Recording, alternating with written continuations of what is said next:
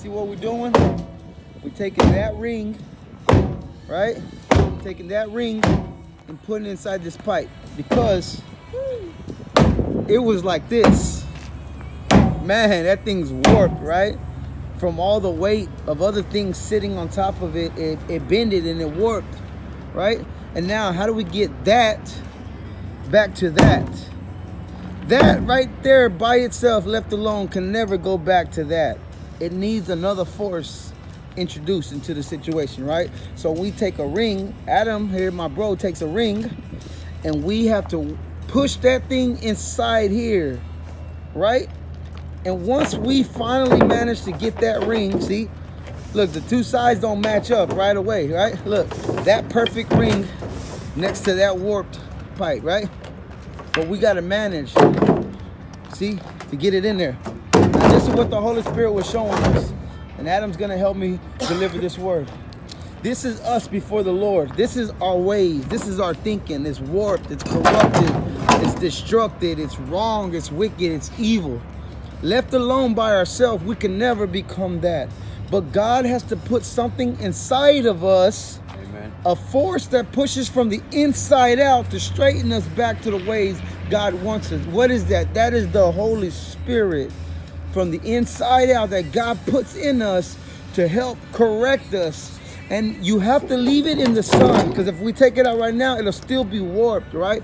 But after it sits in the light of the sun, S-U-N, we sit in the light of the sun, S-O-N, and, the, and sit under the teaching of the word, under the conviction of the Holy Spirit, then after a while we'll begin to take shape. But Adam here has something even more beautiful with the ring, which symbolizes what, bro? The covenant with God.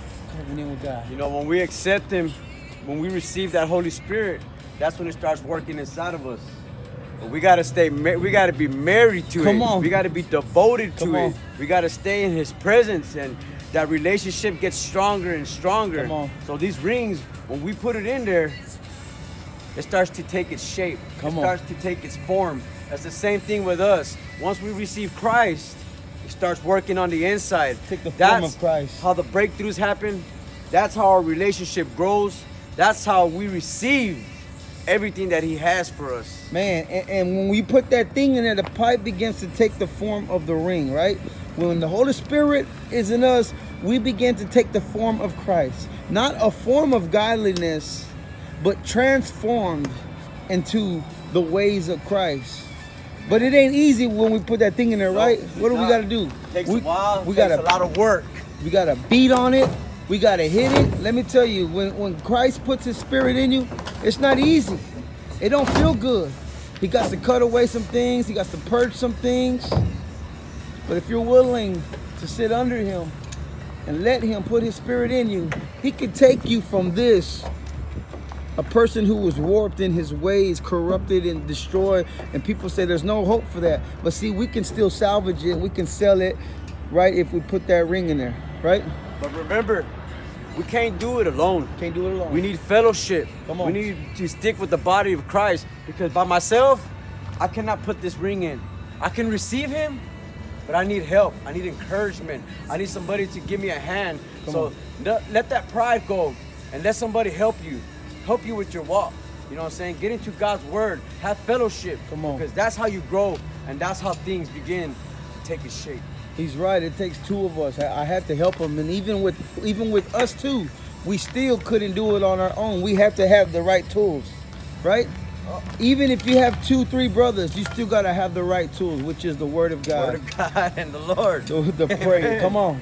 With that being said, we gotta go. God can turn you from that into that, but he you gotta be willing to let Him put His Spirit inside you. The the You perfect circle. to. Sometimes you know you gotta take a beating through it, Come on, but you know what? It'll all be worth it. it'll be worth it. Never give up. In Jesus' name.